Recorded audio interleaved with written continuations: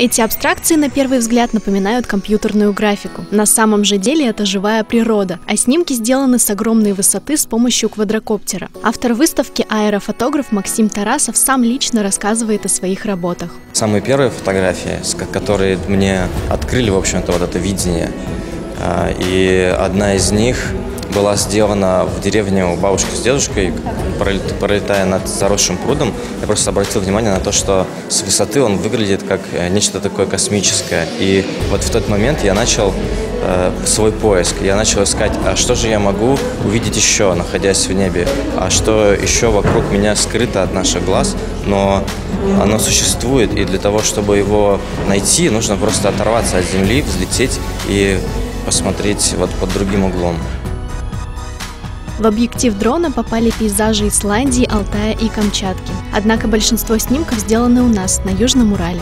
В силу того, что имею художественное образование, вижу и это очень ценю. Я вижу, насколько он грамотно выстраивает композицию. Я вижу, насколько у него интересное цветовое решение. Я вижу, насколько человек действительно работает, выбирает каждый кадр и э, готов, вот как вот он рассказывал, возвращаться, возвращаться на одно и то же место, чтобы выбрать лучший свет, лучший ракурс, лучшие тени. И в результате это оправдывается. Картины получаются вот именно что картины. То есть, понимаете, не просто фотографии. Его направление именно абстрактной фотографии, а не видовой, э, оно в принципе, с точки зрения даже искусства, с художественной точки зрения, оно интереснее. Все-таки видовой пейзаж и э, поиск абстракции э, в пейзаже – это совсем другой уровень. И такая фотография всегда будет цениться. Фотоаппарат закреплен, собственно, вот э, на таком подвесе. Э, когда коптер включен, он э, гасит все колебания и то есть камера, она встроенная, можно сказать, ее нельзя поменять, вот она есть такая, какая есть.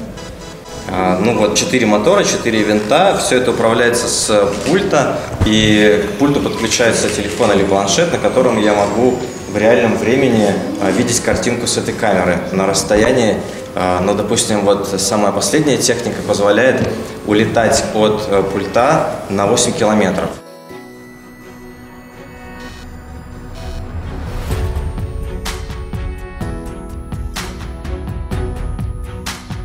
Самом деле мне понравилось, что очень странно одна работа. Это вид челябинских гаражей сверху на окраине. Это вроде бы кажется такая простая вещь, но выглядит очень интересно и очень красиво может даже вписаться в интерьер определенный. Для меня это совершенно новый вид искусства, и это правда что-то выходящее за грани э, воображения, потому что мы видим природу в определенной плоскости, а здесь э, новый взгляд. Максим Тарасов – фотограф, признанный во всем мире. Среди его наград – победа на Международном фестивале дикой природы «Золотая черепаха-2017». Он также не раз оказывался в списках лучших аэрофотографов по версии журнала Time и телеканала CNN. Уникальные виды зюраткуля и кусы попали на страницы авторитетного специализированного издания Dronescapes. Кстати, один экземпляр Максим подарил публичной библиотеке, на площадке которой разместилась выставка «Взгляд с высоты».